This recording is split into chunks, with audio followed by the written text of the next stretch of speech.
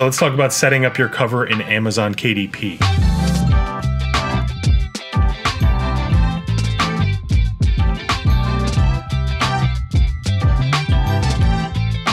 Going to open up a cover and just give you a little bit of a breakdown. I've spent a thousand hours uploading files to KDP only to have them rejected because I didn't set up the sizing properly. I love doing the artwork for these covers, but setting them up is sort of a pain. So let me give you the breakdown of what you're looking at right here. This is an Amazon KDP paperback book cover. So this is not the interior artwork. This is the front page on the right hand side and this is the back page on the left hand side. Important elements of this are, I mean, obviously you're gonna have your title of your book and your name on it, or whoever the author or illustrator was. That's all on the right hand side. That's very easy. In the middle, because my book is only, I think it's 32 pages long, there's no spine on this book. If I were doing a hardcover book, there would be um, like a quarter of an inch to a half an inch spine on this book with the name of the book and my name sideways. That's not what's going on in this one. This is just a paperback book. Here's an example of what the finished product look, looks like. Please ignore all the notes that I have to myself in here. So the most important element of this is the barcode. This is the ISBN number for your book, and you can go two ways to get this barcode. When you upload your files to KDP, they will provide you with an Amazon ISBN number.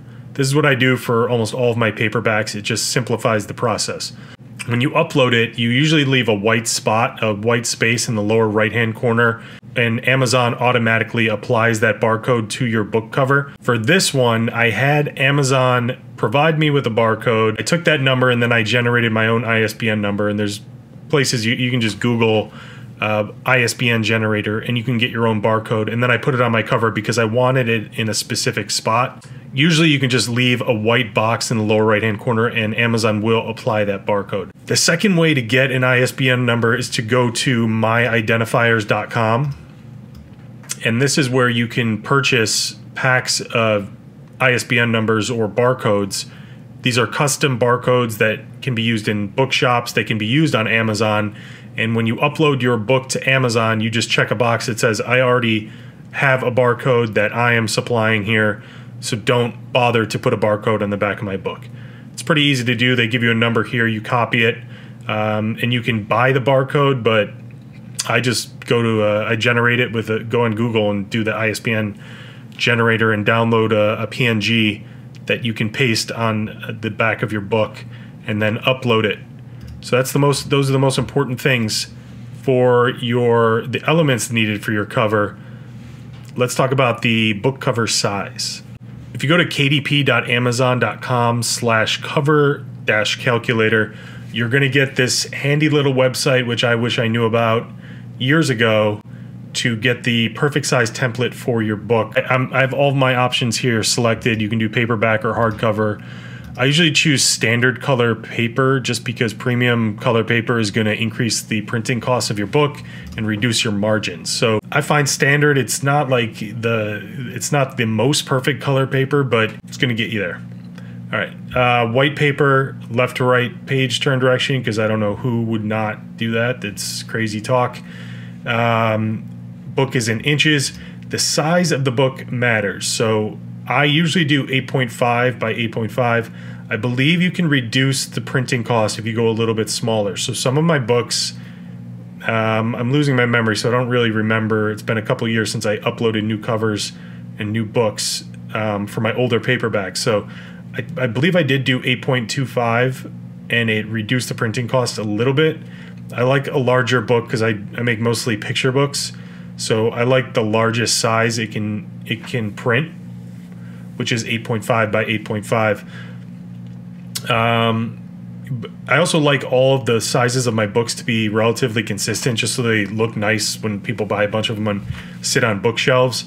But um, you got to do what you got to do and experiment with these different sizes because you may find that uh, you want to write an illustrated picture book, but maybe it's like a series book that requires uh, that's you know a little bit taller and a little bit uh, with with less width. So it's like a 7.5 times 9.25 could be a good size for that. Really depends on what you want, uh, what type of book you're creating here.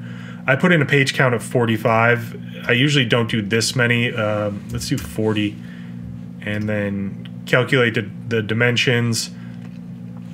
This is an 8.5, but um, just for this website, it looks like it's a little bit taller, but it's it is going to come out a little bit more square. It should, hopefully.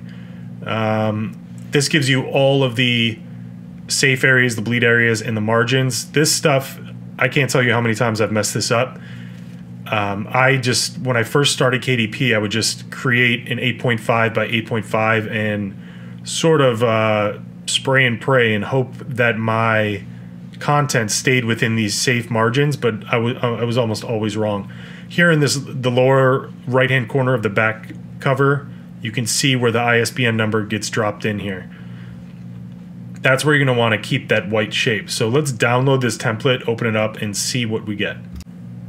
So I've got the, the template open in Photoshop right now. I just went right to Photoshop, but you can open it in Adobe Acrobat too.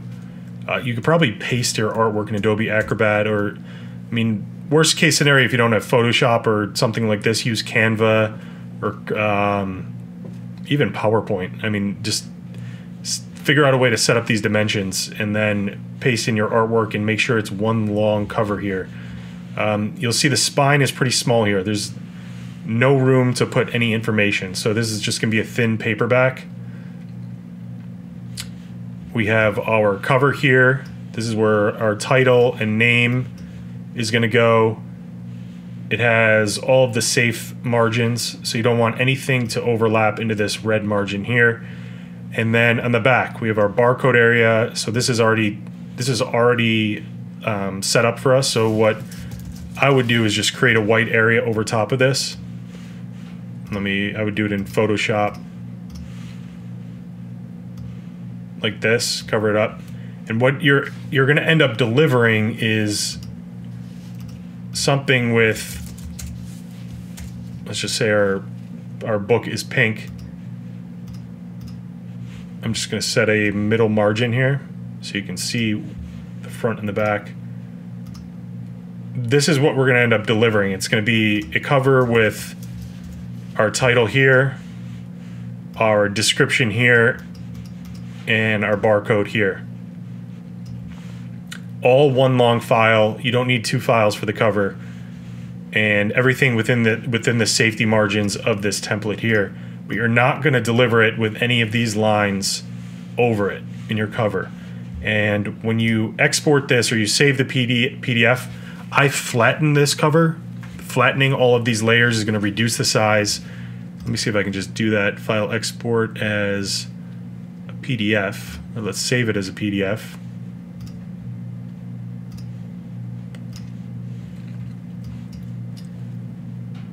So if you preserve Photoshop editing capabilities or whatever program you're working in, I usually abandon this and save it as a PDF. That will that will flatten everything together, make a, a smaller file size, and you still have your Photoshop file to go back to to, to make edits. But for uploading to KDP, I just want the smallest file size possible because it, it, can take a little bit of time to upload your files there. Let's see what else we got going on. So I'll go in um, Fish Without a Bowl, continue setup,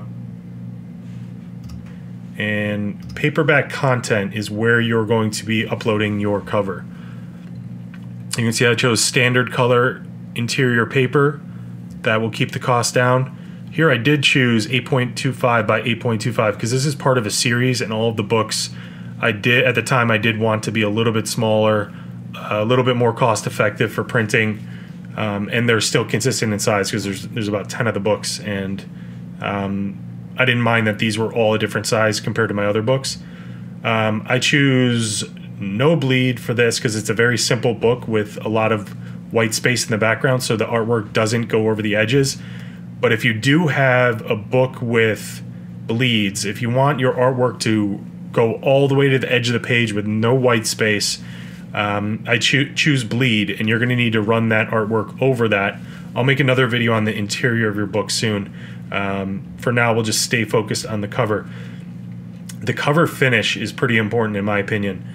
Glossy is what I choose 99% of the time there's a matte feel that you can uh, you can use. I usually do this for like low content notebooks that I set up just for myself. Um, I'm not a huge fan of the feel of the matte, the matte feeling. I wish it were more like a standard cardboard feeling rather than this matte, which has a little bit of a stick.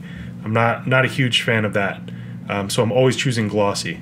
Here is the manuscript you're going to upload. These are the this is the interior PDF, one PDF for all of your pages. So if you have a 400 page book, you're going to upload that 400 page PDF right here.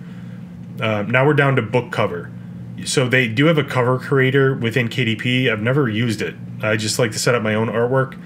Um, this is where you upload your PDF and you check this box if you if you're including a barcode. So if your cover, wait, let me read it. So stop talking, just read it. All right. Check this box if the cover you're uploading includes a barcode.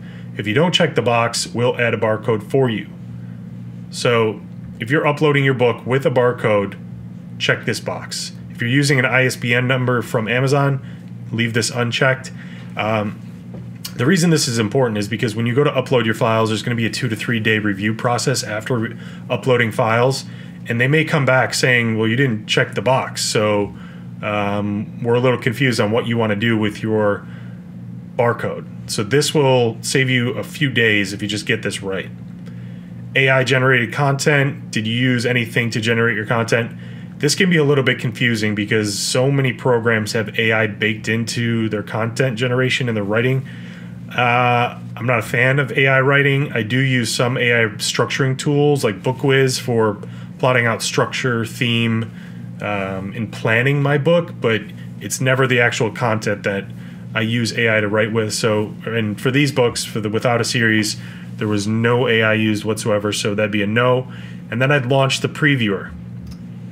So you see everything we just talked about. This is that template that we downloaded we have our split line here. We have our front cover on the right and our back cover on the left. Um, I like just in terms of content, what goes on the back cover. Anytime you can, and I didn't do that here, I would try to put some social proof, like testimonials about your book or like what people loved about your book. I have not uh, taken my own advice and collected that and put that on here. So I went with a really simple description of what the Without a Book series is about. Three lines or less I'm just thinking about like how is that a portable message that somebody can tell their friends. I show other books on here. Um, I have a, a URL link to my website along with a QR code, and here's the ISBN number that Amazon dropped on. So that is the that's the anatomy of uh, a book cover. If you have any questions about this, just drop them in the comments. I'll try to respond to every one. Um, yeah, I think we're going to leave it there. I think I, I covered pretty much everything there is. I'm uh, I I haven't created many different types of book covers on Amazon KDP. I'm usually just a picture book square cover creator. Um, but I think you can you can push the limits of what this is what this is and the cool like cool things you can do with it. Um, and even make the your cover more interactive and engaging. Actually, one last thing. What I love about KDP is your book cover and your interior it's a little bit like software. So if you write a book and you put it out in, in, 2024 and in 2026, you think, oh, well, my cover would sell more, convert more if I changed if I changed the artwork on it or I changed the content around. You can update your cover and you can update the interior of your book on KDP just like you would update software. Sometimes when you create a book, you overcomplicate it and it takes years and time to realize the mistakes that you made and like learning how to simplify it. So um, once I learn how to do that, I'll go back and just refresh the covers of my book. I, it's kind of fun to do um, and to just keep things fresh and change things up. Yeah, but I think that's it. Let's uh, let's wrap that one up. Chat with you in the comments. Thanks for watching.